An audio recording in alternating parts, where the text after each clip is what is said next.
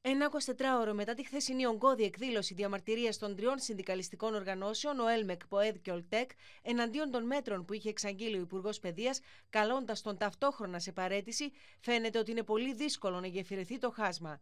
Η πρόσκληση του Κώστα Χαμπιαούρη για διάλογο, χωρίς να αποσύρει τα μέτρα που είχε εξαγγείλει, ξεχύλισε το ποτήρι για τις εκπαιδευτικές οργανώσεις. Σε ανάρτησή του στα μέσα κοινωνικής δικτύωσης, ο πρόεδρος της ΠΟΕΔ, Φίλιο Φυλακτού, ανέφερε.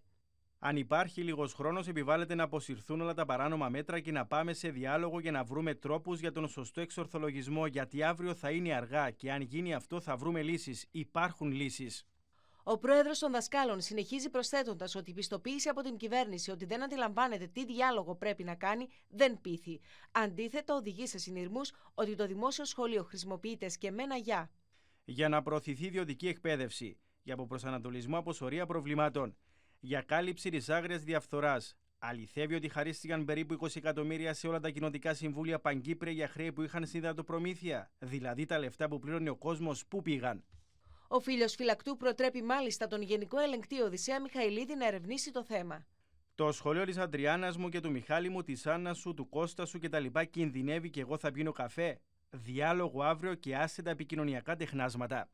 Ο φίλο φυλακτού προκάλεσε τέλος τον Υπουργό να μαγνητοσκοπούνται συνεδρίες της Μικτής Επιτροπής Προσωπικού Εκπαιδευτικής Υπηρεσίας για ευνόητους λόγους.